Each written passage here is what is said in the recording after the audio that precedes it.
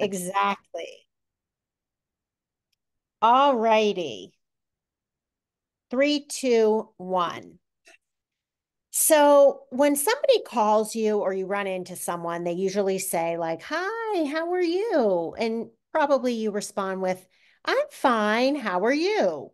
And so today I want to talk about the word fine, why people shouldn't settle for fine when you can have fabulous. Now, I this was not my idea, it was my guest's idea. My guest and I today are going to talk about 10 things you can do to transform your life from fine to fabulous. And my guest is divorce and life coach, Michèle Heffron. Hi, Michèle. Hi, Jackie. Nice to see you. You too. And I love the article you wrote, Why Settle for Fine When You Can Have Fabulous. And I wanted to ask you how you came up with this idea. Like, what made you think to write about this and talk about how people just always go, Oh, I'm fine. And oh. really, sometimes we're not. Yeah. Well, it's funny that you say this because, you know, you hear this all the time. And I, I say it all the time. I'm fine.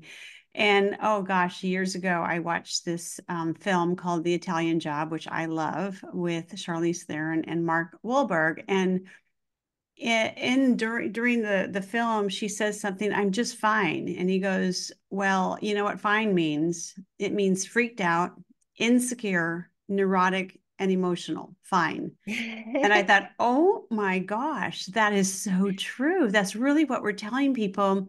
When we say we're just fine. Oh, we're fine. right. Because I think many women do this. Most women I know. Yes. We feel like we have to be fine. We're not allowed to tell anybody anything otherwise. And we just have to fake it all the time. And do you agree with that? I so agree with that. And it wasn't until I went through my divorce um, nearly 15 years ago and I started really paying attention to the words I was using only because I was I had been working with a coach trying to pull myself out of this like vortex of chaos and fineness. And and it wasn't fine in the finest way at all. And i realized that there's so much more to our life and that if we really really really thought about it we could have a fabulous life but it takes making a decision and choosing every single day not to just settle for fine. And settling for fine, or I should say, not settling for fine, takes courage. It takes getting out of your comfort zone. But I think we're going to get all in, we're going to get into all of this. But we're going to talk about 10 things you can do to transform your life from fine to fabulous, an article that Michèle wrote for Divorced Girl Smiling. You can find the article on divorcedgirlsmiling.com. But before we talk about the 10 things, I want to tell my listeners a little bit about you, Michèle. So, Michèle is a divorce coach and a life strategist.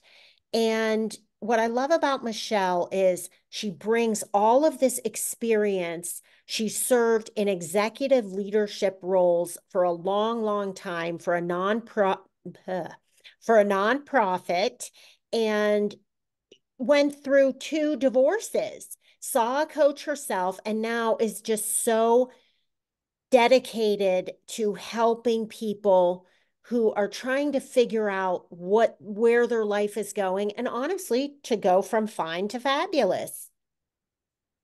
She's nodding in case you can't see her. yes thank you. Yes. Okay so let's get into the 10 things and i love i'm going to read part of this article because i love it you wrote, going from fine to fabulous is meant to be fun, fulfilling, and all about you. This means putting you first. You may have been taught that putting yourself first in line is being selfish, self centered, and immoral.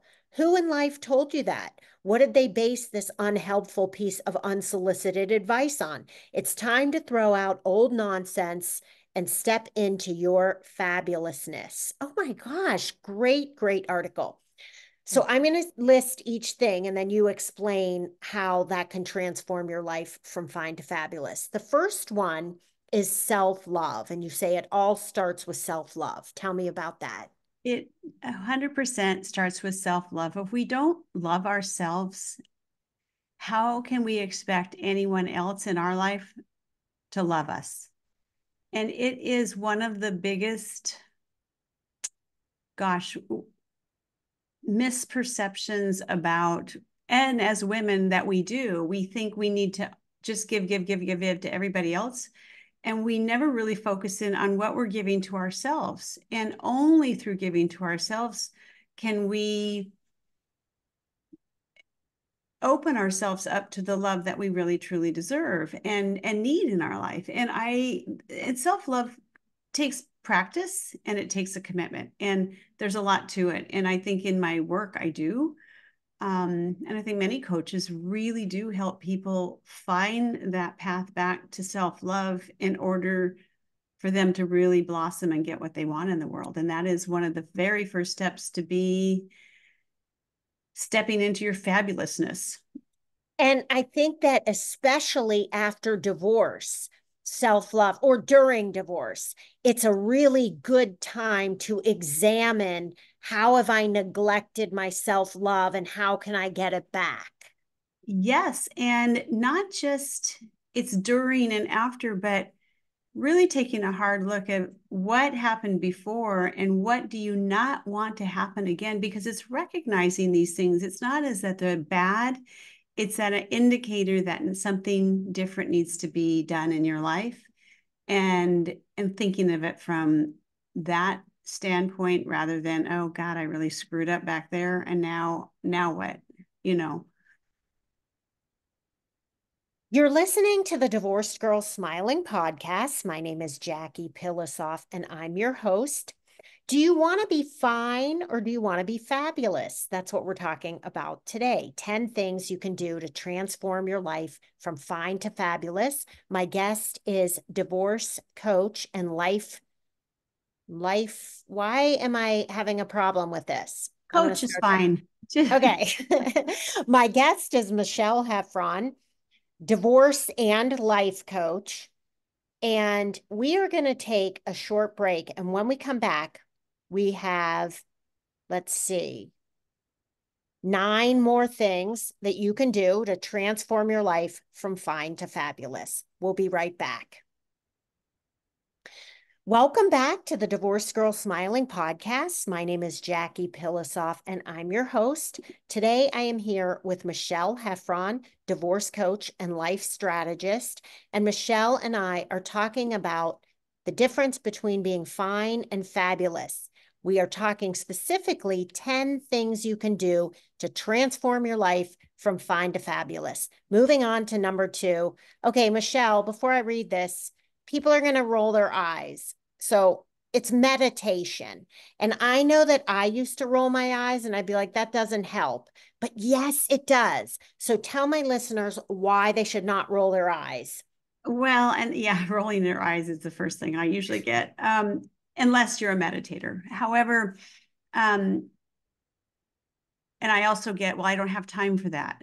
And it's like, well, actually, you do have time for that. It's a choice everything in your life, and I mean everything in your life is a choice. And so, if you don't have time for it and you made time for it, you'd have more time. You do. I mean, it's the most mm-hmm. transformational part of anything that I've actually included into my life. And um, and there's so many ways to meditate, but really being able to center and get back into your own self. And that's where it all happens. We have become this society of wanting everything on the outside of us always to change. And honestly, we can't change anything on the outside of us. We can't control what anybody else is doing. And until we kind of go within and get a little more centered in there and understanding who it is we are and what we really truly desire, and that's through meditation and being very, very quiet, you, you it, it changes your perspective on what you're seeing on the outside because you you can't change what's on the screen unless you change the film that's playing there.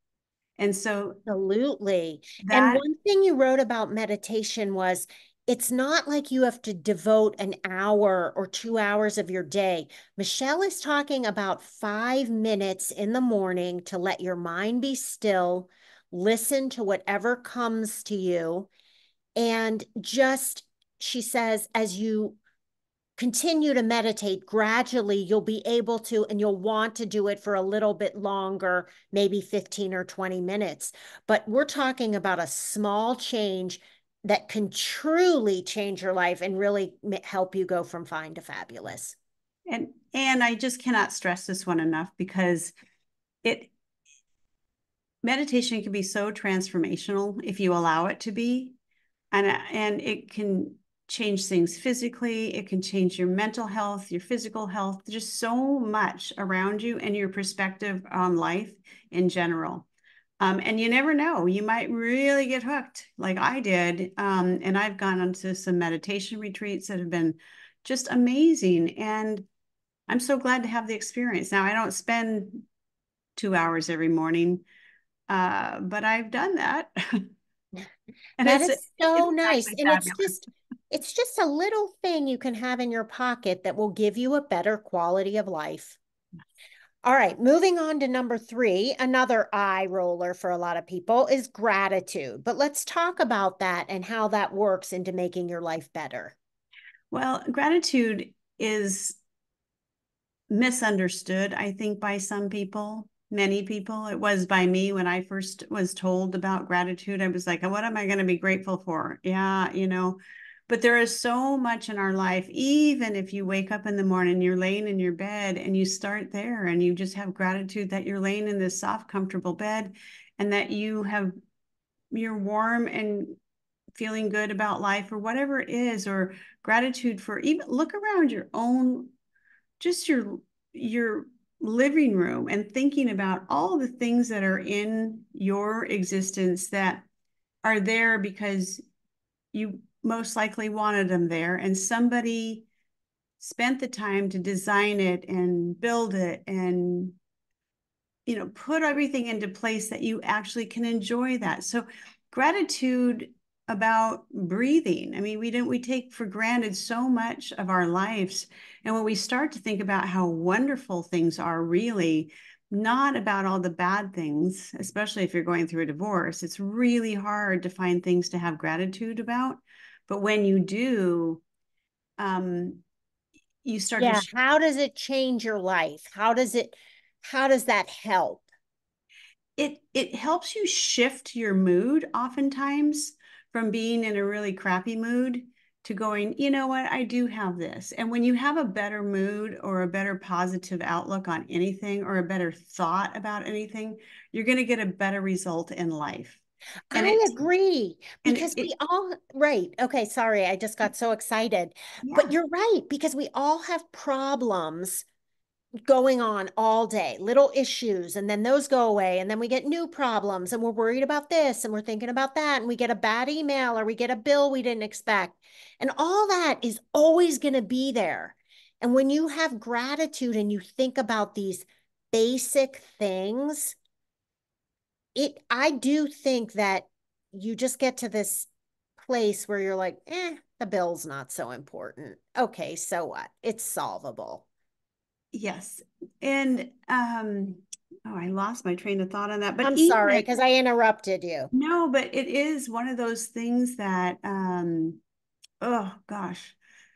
But even, you know, now, and this is many years later, and I know that this is a lot for people who might be going through divorce, but I look back on all the things that happened, which was really sh- sh- crappy. My it was mm-hmm. not a very pleasant. You can say shitty. Okay, it was shitty. I'm just going to be right out there and tell you it was not. I was I was not in a very good place when I was going through my divorce many years ago. But now I actually do look back at it and I am grateful because I wouldn't have grown and evolved into who I am now had I not had that really shitty experience. And so it's really being able to also look at what's really happening in your life. And everything to me now is like an indicator when you get into an uncomfortable situation or maybe you get sick or something and you're uh, something it's always a sign that something else needs to be shifted and that there's a course correction that needs to happen. And I just feel like gratitude is that basis for understanding that there's more going on in our lives than we think. And you're not in control of everything. So have some grace and gratitude for where you are and just see what happens because really cool things happen then. I have a great exercise for people listening. Michèle, you're going to be so proud of me. I want to tell everyone what I did this morning. So I woke up and I was like, you know, thinking about all these problems that I was having. And then I went to take my dog out. And then I thought to myself, okay, let's do a gratitude exercise. And I go, the five senses. So I looked around and I live in a beautiful neighborhood. I was looking at all the trees and flowers and I was like, okay, that's my vision. Beautiful. And then I was like, okay, hearing. And I was listening to the birds chirping. It was like six o'clock in the morning. Yeah. And it was so nice. I was like, oh, they're so cute. Okay. Then I like had to do something and I touched my dog and I was like, okay, touch. I love this animal so much. And then I was like, okay, smell. And so I was like, I could actually smell flowers. And then when I got mm-hmm. inside, I was like, well, I didn't do anything for taste. I took that first sip of coffee and I was like, wow, that tastes so good. Isn't that a good one? It is. And those are just, they're small things, but it doesn't it shift the way your morning starts? Good. Completely. Yeah. All yeah. right, let's move on to number four. Rewrite your story. That's how you go. That's one of the ways to go from fine to fabulous. Tell me about that. Well, this is a very, very big one. And I I do a lot on this whole theme in the writings that I do because you know, if you want your story is your story, but it's also your story from your perspective. And if you are creating yourself as the victim in your story, then you're going to continue to be a victim in every other part of your life. So it's it's changing your story to a different perspective. And because you can tell everybody your story and I guarantee if you tell more of the victim end of your story, you're going to get more things that are going to put you into that victim space. So right. rather than be a victim, be a heroine in your own story and just twist, turn the story around. How has it been good for you? One of my coaches, and it's this is an excruciating exercise, I must say, but when things aren't going well, she'll have us write out I want 10 reasons why that this is good because this is happening. This is good because and it's hard to find this is good because sometimes when things are really well right if you're getting a divorce how do you find this is good because? Yeah but well, i know how you're going to answer it. Go ahead. Well this is what would you write if you were like newly separated? Oh well this is good because i get to see who i am now. This is good because I never liked the wallpaper in our bedroom, and now I get to do anything. Something. Yes. This is good because I couldn't stand having to make dinner for that jerk every night. Whatever it is. Right. Maybe that that that sounds a little negative. I like this, and yeah, and and like this is good because I'm getting out of this toxicity. This is good because he didn't treat me the way I deserve to be treated. Well, this is good. Go ahead. Jackie to say this is good because now I get to create the life that I've meant to have. It rather than looking at it as a really crappy thing in your life, it's about what what do you get to do now that you didn't do then? And you know, there it's it's very it can shift your perspective totally. Right. But then the other thing is that you can't go back and change the story that happened maybe but you can start a new phase and and really really create the story that you do want. And that's like what i do and even with my coaching clients. You you create a vision for what you want your life to look like. And then we we build a roadmap to get to that because if you don't know where you want to go they're going to get more of the same of what you got. So Absolutely. let's change the picture. And I, it doesn't happen at, And it doesn't happen at the beginning either. Like this takes time. We're, we don't expect you to go see Michèle for a consult and start mapping out what your new story when your husband just walked out on you a week ago. No. You need to grieve and mourn that and be angry and go through all of those emotions. What we're talking about is ending up happy after that mourning process is over. And it's also about how do you move through that process more efficiently? Because as you're going through it, because I agree with you. I mean, you know what? Anger needs to come out someplace, otherwise, it's going to manifest someplace else. It's being careful about where that anger does come out and being conscious of that and placing that where it needs to be placed rather than you know towards the poor clerk at the starbucks or something right and then also not to hang on to it for too long. You know, exactly. we all know those bitter, angry people who are still talking about their divorce 10 years later. Well, rehashing it over and over right. and over with their friends and family. It just drives me nuts. It's like, okay, all right. I and have it. to make a snide comment every minute when it's been 10 years. Right. It, just right. It, it All right, just, let's move on because we're kind of running yeah. out of time. Okay. Number five, here's another eye roller move your body. And before you even explain this, Michèle, I want to tell the listeners we're not saying if you want to go from fine to fabulous that you have to lose 20 pounds, you have to have this perfect body. That's not what this is. Go ahead, Michèle. Not at all. It just means about going out to what feels good to you, but to do something to activate the physical in your life that you might not be doing. Um, and it makes a big difference to find something else outside of your normal thing that you do. I think I mentioned in there, one of my um, friends who went through a divorce, she was really looking for something different to do. And she went out and she started doing salsa dancing, Argentinian salsa dancing. And I actually just had her on my podcast.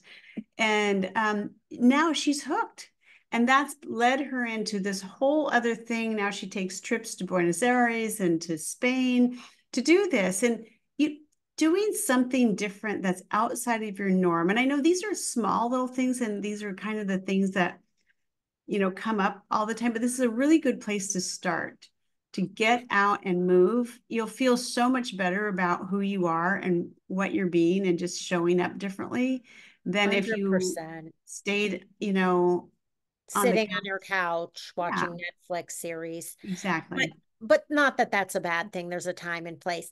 But what I was going to say is, can you imagine all the friends and connections this woman has probably made from her salsa dancing? Now she yeah. has a whole new community. And everywhere. I mean, now she's going to places all over the place mm-hmm. and it is this community and so even i found out with the pickleball thing anything it's not even that you have to take a class go out for a nature walk breathe fresh air and do something to get yourself out of your norm and into something new and different and just see what else is possible I love it. All right. Next one is celebrate. So people are probably listening going, well, how am I expected to celebrate? I just got to, I'm going through the worst divorce. What do you sure. mean by celebrate? Sure, but you know, every time you have a little win, even even if you decided you want to start moving your body and you did it for 10 days in a row, give yourself some grace and celebrate that in some way. Um, I also think it's very important that when you kind of set benchmarks for yourself, maybe maybe you're going through the divorce and you had to get some documents to your attorney that really were taking a long time, and you gave yourself this deadline when you get to it and you you accomplished it do a little something for yourself. Go buy yourself a new scented candle or a new outfit whatever works in your budget but do something that's celebrating you. I used to do this with my kids because i went through this divorce and i had no money. I didn't know what in the world was going to happen. So i decided early on that and we we liked champagne i'm just going to say and, and I mean, so I would always find some way to keep a couple of bottles of champagne. And anytime we had something that we could celebrate, we popped open a bottle of champagne and we did a little toast and we celebrated. And that was a tradition that morphed into our Christmases and all kinds of things. And it's not that we were sitting around drinking champagne all the time. not a bad idea if you know, but it No, was I know what you mean. That's such a cute tradition. it was, you know, and the Mhm. kids, they I keep the champagne glasses in the freezer so they're cold. And my daughter barely even has a sip anymore, but it's a, still a tradition that when we do things, we celebrate. And but you get to make up whatever you get to come up with your own celebration. And I like to call them little victories. So, you know, you're getting divorced. And when I got divorced, I had zero self esteem. I was a stay at home mom. I felt frumpy and old, and I had no self worth. Right. And so then little victories started happening. You know, I realized I'm capable of fixing my toilet. That was a victory for me. That is. I'm capable of taking the garbage out every week and never forgetting. I started to little tiny things precipitated self love because I kept saying, wow, I can do this. Well, if I did this, well, now what's the next level? Yep. Well, now I need a job. Went back and got a job. Big victory there. That was a big celebration for me when I got that first job. It was big. Love it. All right, Yeah. moving on. We have a couple more. I'm going to combine bubbles and bath and pampering yourself into one. Perfect. Um, I I do this especially for people who, you know, we don't have all the time in the world. We don't maybe we we we can't afford to go to the spa. What whatever it is, do something small. And bubbles and bath to me is just like one of those luxury things. You can light a candle, you can you can have a cup of tea or, you know, a bubbles, bubblies or something and really just take yourself away and give yourself time. And sometimes I even meditate in the bathtub if I need to consolidate, you know, different things. Not that I'm checking everything off a list, but it is a relaxing place. And I know that moms who have little kids sometimes can't do this, but it is something if you could just carve out a little time to pamper yourself, buy yourself a little gift, take a relaxing bubble bath, whatever it is, just get away from your norm so you're not rushing through your life all the time. Life is meant to be loved, lived, and enjoyed with pleasure. And if all we're doing is checking things off a list and running through our day, we're not living, we're just surviving. And it's not about survival, it's about thriving in life. You know, I just had a guy say to me recently, like, why do women get their nails done? I mean, I don't see what the big deal is. And I said, you know what the big deal is? Because when we get our nails done, we look down at our nails for the next week and we think, like, wow, that looks nice. That looks manicured. That makes people think I care about myself. That makes me think I care about myself. And if you can't find the time or the 18 bucks to go get your nails done once every once in a while, then you're missing out. That and I I'm big on this is getting go get a haircut. Get mm-hmm. yourself you know, do something that makes you feel like when you look in the mirror that you've taken care of yourself because it's so easy, especially if you're going through a divorce, to just let it go and not care. And that's not the time you want to do that. It's not because you're doing it for anybody else, you're doing it for you. And I remember that the pampering thing, I did have a coach one time who really, every time I made a big, big accomplishment. I went out and got myself something. I still, I have a favorite pair of pajamas. It was a huge stretch for me to be able to afford these pajamas, but it meant so much to me to buy those for myself after I had um, achieved one of my benchmarks that I'll never want to get rid of them just because it has this memory of how I overcame some different things when I was going through my divorce that helped me and I remember that. It means something to me. I love it. Michèle, this has been so wonderful. Thank you so much for taking time and doing this today. I love this conversation. Thank you, Jackie. This is, as always, very, very fun. I appreciate this time for sure. And if you are interested in having a consult or working with Michèle, you can find her at her website, which is Michèle with one L, Heffron with two F's dot com. You can also find Michèle in the trusted professionals section of Divorce Girl Smiling, along with so many other wonderful, trusted, vetted divorce professionals like mortgage lenders, real estate agents, financial advisors, divorce lawyers, mediators, and more. I want to end this by reading Michèle's article, just one sentence from it. She says, let's take a stand against being, doing, and having fine in our lives, and let's strive for fabulous. This is you. Want, oh, okay, sorry. This is your one and only life here on this spinning globe of possibilities, and you deserve fabulous relationships, fabulous careers, fabulous finances, and fabulous freedom. Michèle, I love that. You. Thanks again for being on the show. And to my listeners, if you want to read any articles, if you want to listen to my podcast, okay, I'm starting that over.